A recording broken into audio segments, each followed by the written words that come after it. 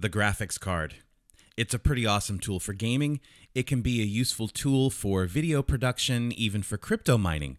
But did you know that you can also use it to help research and fight against the novel coronavirus? In fact, you can easily link up your own gaming PC and join a team of over 400,000 people around the world with a distributed computing project fighting for good that is now more powerful than the world's top seven supercomputers combined. Folding at Home was founded back in October 2000 at Stanford University, and it was specifically designed for disease research.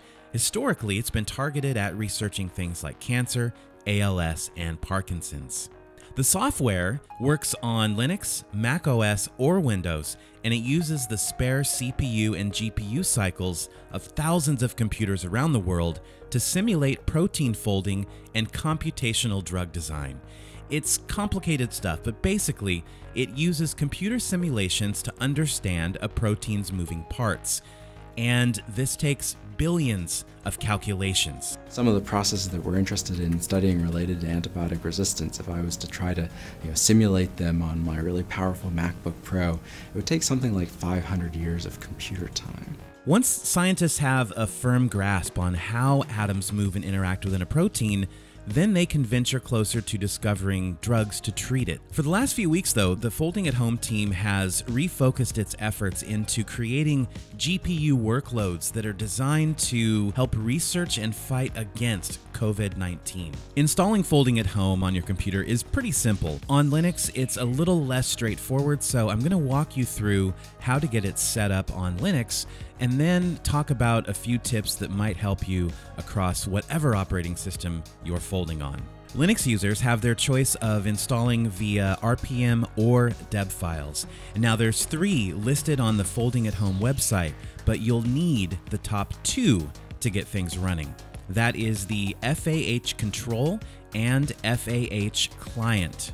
FAH Viewer is optional, but it's a pretty neat visualizer that actually shows the folding in action. So on Linux, once you've installed at least the FAH control and FAH client packages, you can simply search for FAH in your applications and then fire up FAH control. Folding at Home is going to be compatible with pretty much any NVIDIA or AMD Radeon card. However, you may run into a problem where you don't see your GPU on the Folding at Home client.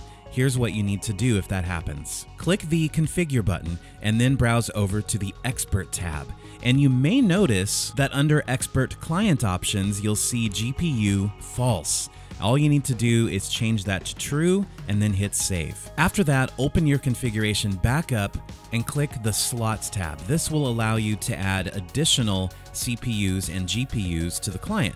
You don't need to mess with any of the values, just click the checkbox next to GPU. But if it still doesn't show up, you might need to install either CUDA or OpenGL support onto your system. Your mileage may vary, of course, but for me, since I'm using NVIDIA, it was just a simple matter of searching my package manager for CUDA and then installing the latest version.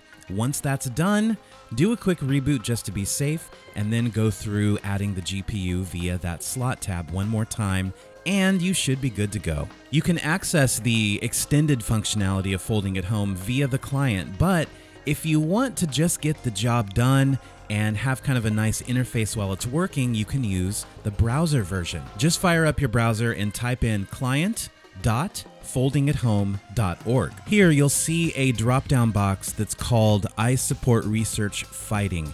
And if you leave that on any disease, then any workload that your GPU is working on is automatically going to be dedicated to the coronavirus project. And I want to take an opportunity to give my very appreciative thanks to Team Linux for Everyone, who is quickly climbing up the ranks. If you want to join our team, you can enter team number 240869. But honestly, it doesn't matter what team you join, it only matters that you are contributing your GPU compute power to the project. Now, someday this coronavirus pandemic is going to be behind us, but folding at home will remain a really important project for researching disease that affects millions of people around the world. So keep folding, keep fighting, and stay positive. Now, I've only covered the basics, but it should be enough to get you up and running. And if you have any questions whatsoever, please drop something in the comments and I will try my best to answer it for you. I'll talk to you guys soon, and now more than ever, please take care and take care of each other.